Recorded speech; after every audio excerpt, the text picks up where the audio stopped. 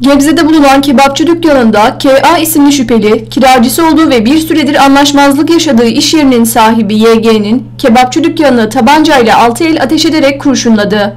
Olayın ardından şüpheli kaçtı. Şüphelinin tabancasından çıkan kurşunlar iki müşterinin otomobiline, dükkanın da giriş kapısına isabet etti. Olay sebebiyle şans eseri yaralanan olmadı. 112 acil çağrı merkezine yapılan ihbar üzerine olay yerine polis ekipleri sevk edildi. YG'nin sahibi olduğu iş yerinden kiracısı KA'yı çıkartmak istediği, bu sebeple ikili arasında husumet bulunduğu öne sürüldü. Olayla ilgili soruşturma başlatıldı.